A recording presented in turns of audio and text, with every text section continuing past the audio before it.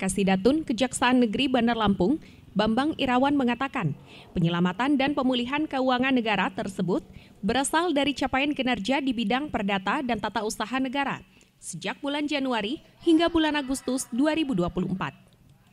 Adapun lingkup bidang perdata dan tata usaha negara meliputi penegakan hukum, bantuan hukum, pertimbangan hukum, pelayanan hukum, dan tindakan hukum lain kepada negara atau pemerintah meliputi lembaga atau badan negara, lembaga atau instansi pemerintah pusat dan daerah, badan usaha milik negara dan daerah atau BUMN dan BUMD. Pada bidang perdata dan tata usaha negara untuk menyelamatkan, memulihkan kekayaan negara. Kasidatun juga menyampaikan sudah melakukan 29 kerjasama atau MOU bersama stakeholder.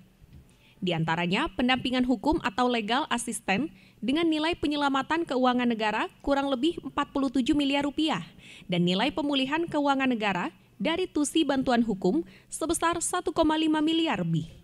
Ya, terima, kasih. Adapun eh, capaian kinerja di bidang datum pada Kejaksaan Negeri Bandar Lampung, hmm. kita sudah melaksanakan eh, MOU atau perjanjian kerjasama hmm. dengan beberapa stakeholder sebanyak 29 perjanjian kerjasama hmm. dan kita juga sudah melaksanakan pendampingan atau legal assistant dengan nilai kurang lebih 47 miliar hmm. dan kita juga sudah uh, melaksanakan pemulihan keuangan negara hmm. bentuk dari bantuan non litigasi kurang lebih sebesar 1,5 hmm. miliar.